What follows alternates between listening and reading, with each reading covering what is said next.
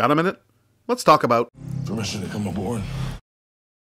Much like Wonder Woman, which I mostly enjoyed, Aquaman suffers from a serious case of DC bloat. It's been a staple of the studio since The Dark Knight Rises, really, the tendency to throw way too much stuff at the screen, hoping that a few things will stick.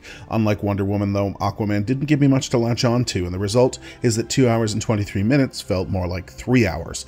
There were things I liked, director James Wan finds some interesting ways to shoot his action, and the performances were mostly good, though I'm still not sold on Jason Momoa's ability to land a joke. Dude's just not funny. Uh, please don't tell him I said that.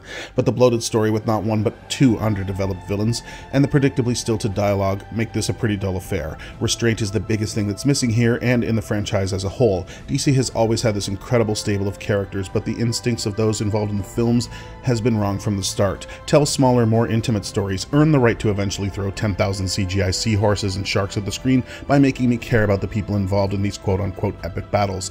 There are attempts to make us connect with our heroes. Sadly, they get lost in a tsunami of noise.